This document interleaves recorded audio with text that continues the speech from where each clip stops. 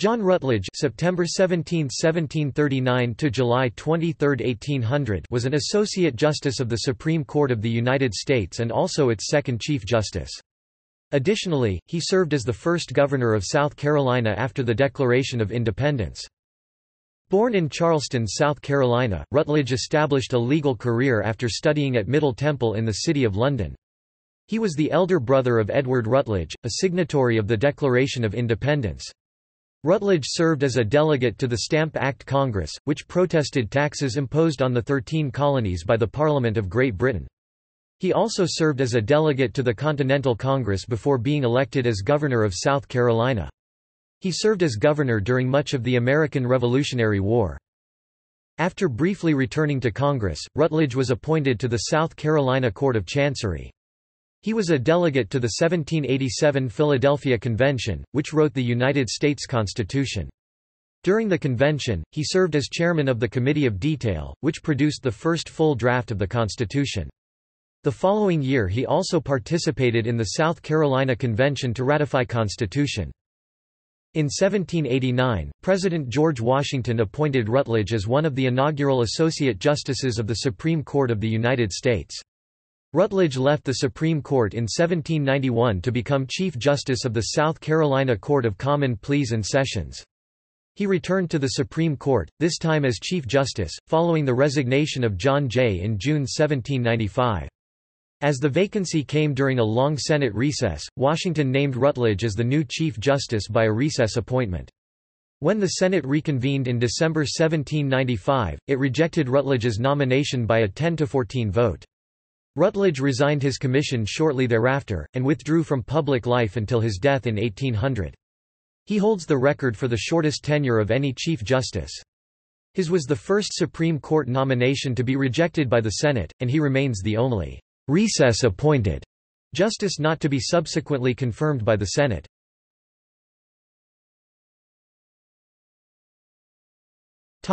Early life and family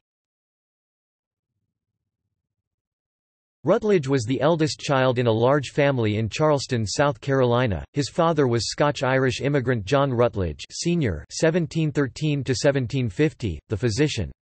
His mother, South Carolina-born Sarah Hext, born September 18, 1724, was of English descent.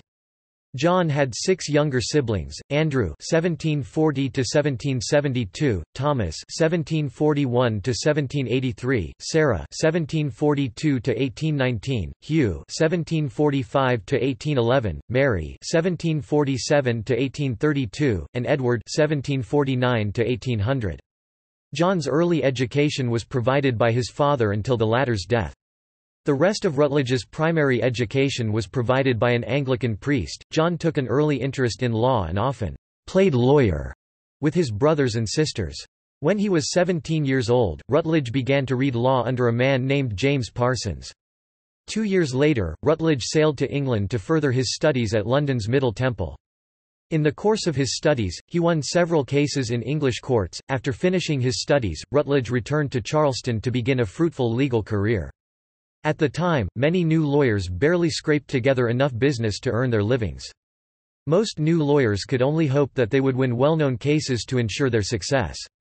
Rutledge, however, emerged almost immediately as one of the most prominent lawyers in Charleston, and his services were in high demand. With his successful legal career, he was able to build on his mother's fortune. On May 1, 1763, Rutledge married Elizabeth Grimke born 1742.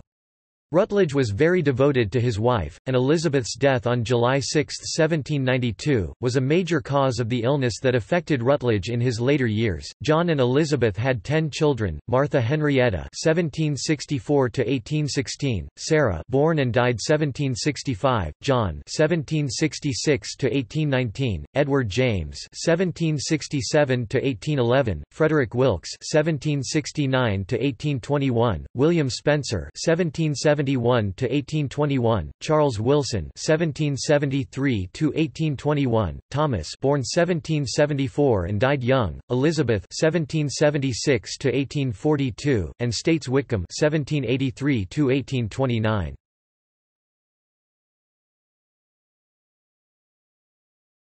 Topic: Pre-Revolutionary War. In mid-1765 Rutledge was an important figure in the Stamp Act Congress. This Congress produced a resolution that stated that it was the undoubted right of Englishmen, that no taxes be imposed on them but with their own consent, given personally, or by their representatives." Rutledge chaired a committee that drew up a petition to the House of Lords attempting to persuade them to reject the Stamp Act. They were ultimately unsuccessful. When the delegates returned to South Carolina after the Congress adjourned, they found the state in turmoil. The people had destroyed all the revenue stamps they could find, they broke into the houses of suspected Loyalists to search for stamps. When the Stamp Act went into effect on November 1, 1765, there were no stamps in the entire colony. Dougal Campbell, the Charleston court clerk, refused to issue any papers without the stamps. Because of this, all legal processes in the entire state came to a standstill until news that the Stamp Act had been repealed reached South Carolina in early May 1766. After the Stamp Act conflict ended, Rutledge went back into private life, and to his law practice.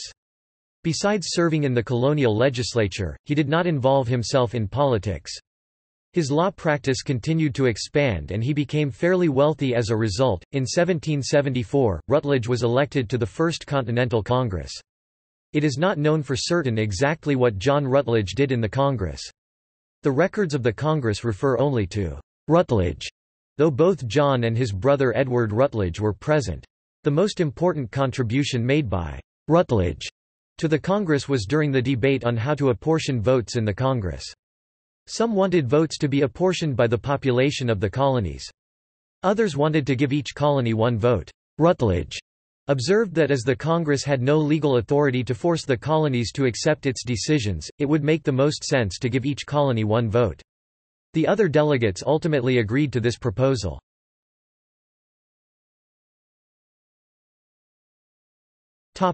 President of South Carolina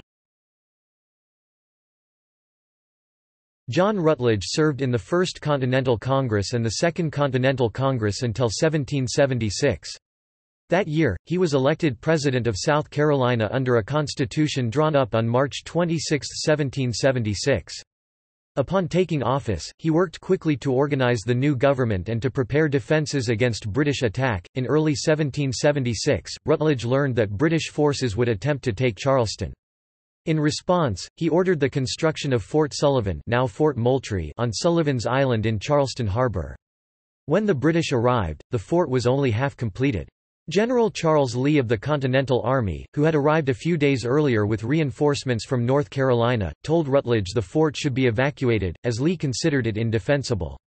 Lee said that the fort would fall in under a half an hour, and all the men would be killed.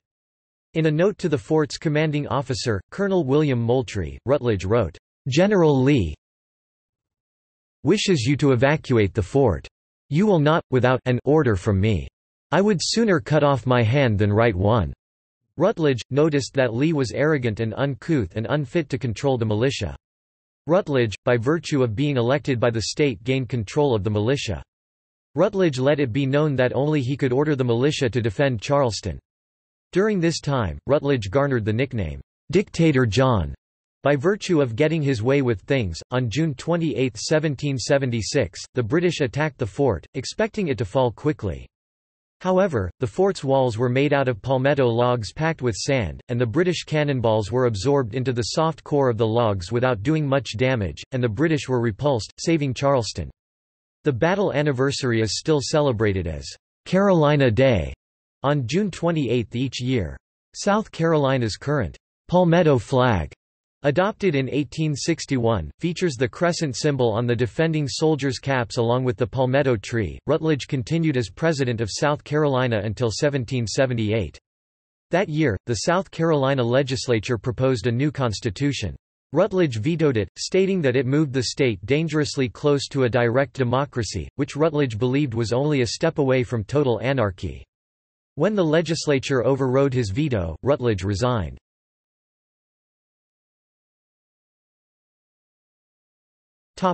Governor of South Carolina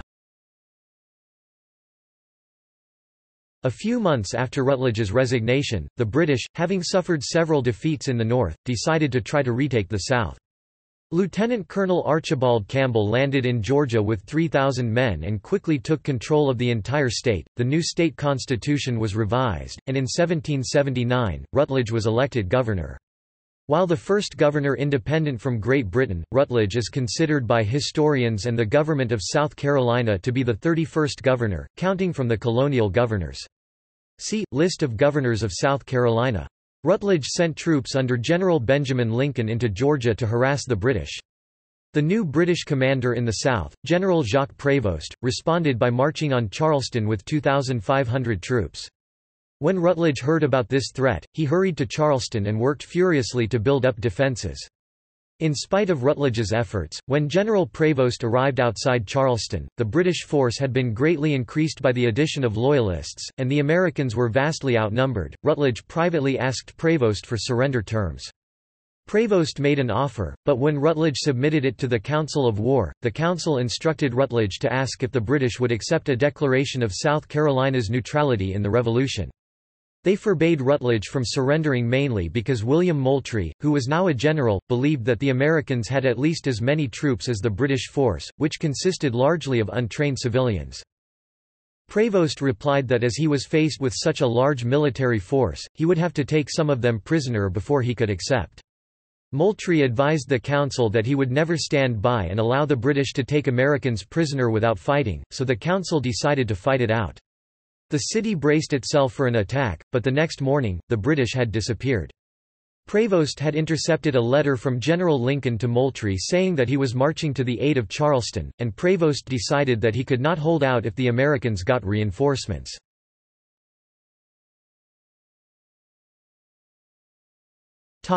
Charleston occupied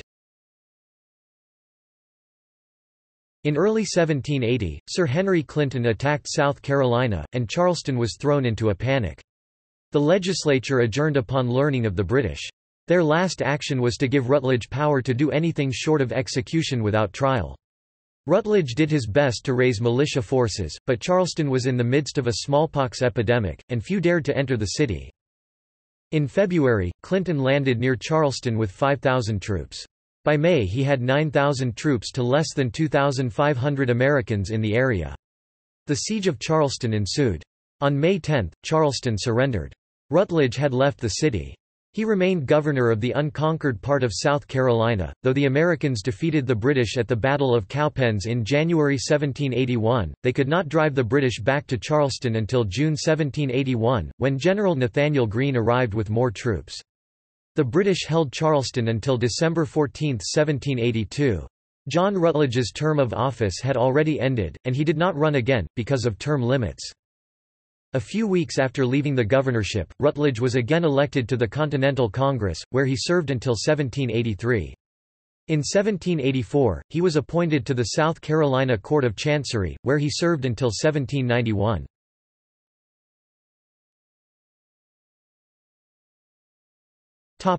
Slavery Like many prominent European American men in South Carolina at the time, he owned African American people as slaves. According to the State Library of South Carolina, Although Rutledge claimed that he disliked slavery, as an attorney he twice defended individuals who abused slaves. Before the American Revolution, Rutledge owned 60 slaves, afterward, he possessed 28. His wife Elizabeth manumitted her own slaves, and his nieces were abolitionists Sarah and Angelina Grimke. Despite this, Rutledge convinced the Constitutional Convention not to abolish slavery. When Rutledge died in 1800, he only owned one slave due to financial difficulties.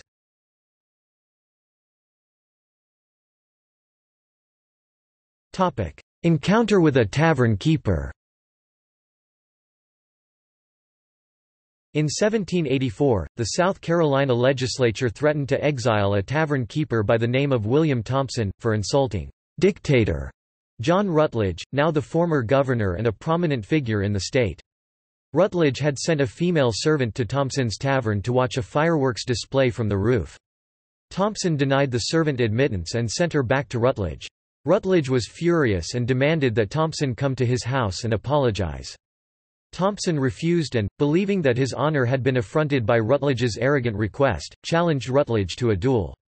Since people like Rutledge did not associate with tavern keepers, Rutledge went to the South Carolina House of Representatives and insisted that it pass a bill banishing Thompson from the state for insulting a government official. Thompson claimed that, Rutledge and others who were wealthy composed, "...the grand hierarchy of the state." Thompson argued that independent people required leaders who were good, able, useful and friends to social equality. This altercation changed the hierarchy of state legislatures for years to come.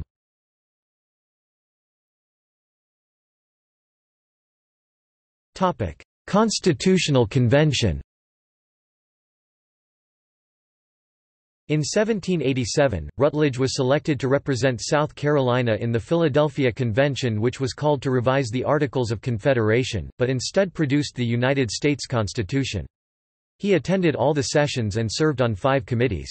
At the convention, Rutledge maintained a moderate nationalist stance and chaired the Committee of Detail. After the convention had debated the Virginia Plan and settled some major points of controversy, the Committee of Detail, which Rutledge chaired, assembled during the convention's July 4 recess. Though the committee did not record its minutes, it is known that the committee used the original Virginia Plan, the decisions of the convention on modifications to that plan, and other sources, to produce the first full draft. Much of what was included in this draft consisted of details, such as powers given to Congress, that hadn't been debated by the convention. Most of these were uncontroversial and unchallenged, and as such much of what Rutledge's committee included in this first draft made it into the final version of the Constitution without debate. Rutledge recommended that the executive power should consist of a single person, rather than several, because he felt that one person would feel the responsibility of the office more acutely. Because the president would not be able to defer a decision to another co-president, Rutledge concluded that a single person would be more likely to make a good choice. Rutledge was largely responsible for denying the Supreme Court the right to give advisory opinions. Being a judge himself, he strongly believed that a judge's sole purpose was to resolve legal conflicts. He held that a judge should hand down an opinion only when ruling on an actual case. He also thought that the legal community was the higher tier of society. Rutledge also argued that if either house of the legislature was to have the sole authority to introduce appropriation bills, it should be the Senate. He noted that the Senate, by nature of its lengthier terms of office, would tend to be more leisurely in its actions. Because of this, Rutledge felt that the Senate would be better able to think clearly about what the consequences of a bill would be. Also, since the bills could not become law without the consent of the House of Representatives, he concluded that there would be no danger of the Senate ruling the country. When the proposal was made that only landowners should have the right to vote, Rutledge opposed it perhaps more strongly than any other motion in the entire convention. He stated that making such a rule would divide the people into haves and have-nots, would create an undying resentment against landowners, and could do nothing but cause discord. He was supported by Benjamin Franklin, and the rule was not adopted. In the debate on slavery in the new country, Rutledge took the side of the slave owners. He was a Southerner and he owned several slaves. Rutledge said that if the Constitution forbade slavery, the Southern states would never agree to the Constitution.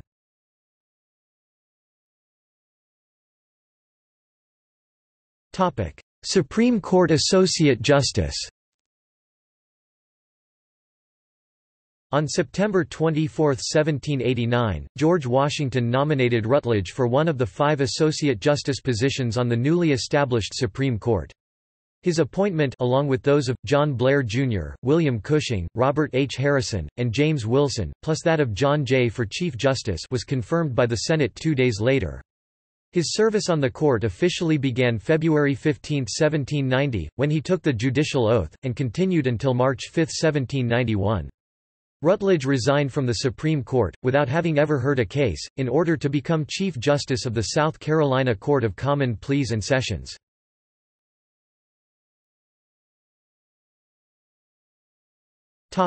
Chief Justice of the United States On June 28, 1795, Chief Justice John Jay resigned, having been elected Governor of New York. Washington selected Rutledge to succeed Jay as Chief Justice, and, as the Senate would not be meeting again until December, gave Rutledge a recess appointment so that he could serve as Chief Justice during the upcoming August session.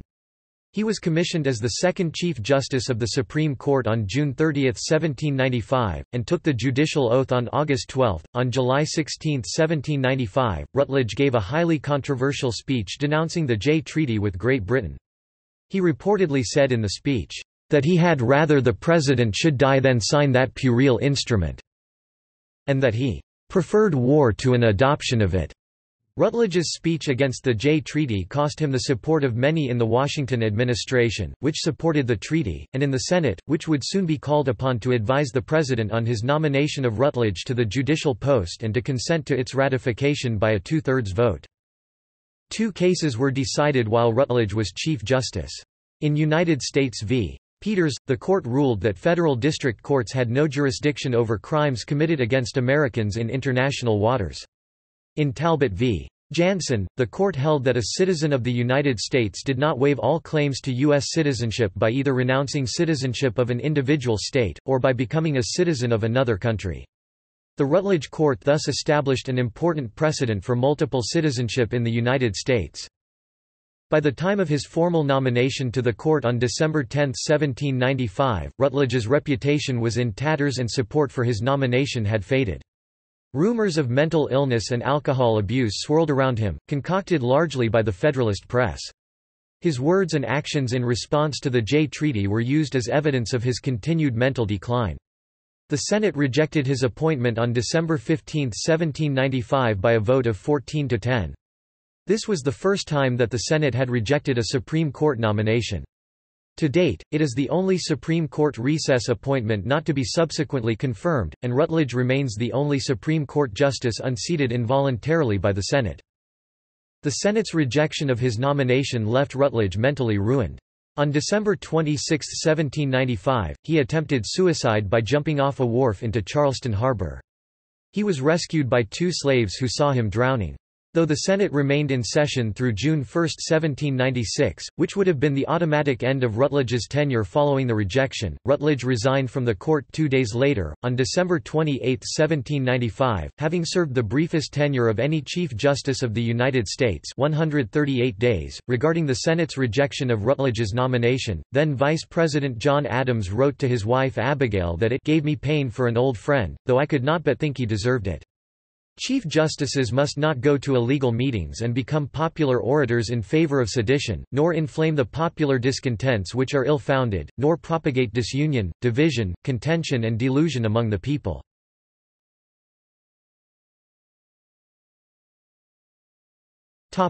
Later years Following his disastrous speech on the Jay Treaty, Senate rejection, suicide attempt, and resignation from the Supreme Court, Rutledge withdrew from public life and returned to Charleston. He died on June 21, 1800, at the age of 60. He was interred at St. Michael's Episcopal Church in Charleston. One of his houses, said to have been built in 1763 and definitely sold in 1790, was renovated in 1989 and opened to the public as the John Rutledge House Inn.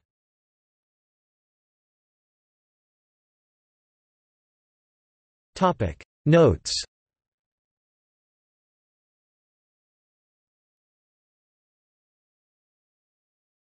Topic. See also. Judiciary Act of 1789 List of nominations to the Supreme Court of the United States. United States Supreme Court cases during the Rutledge Court. List of Governors of South Carolina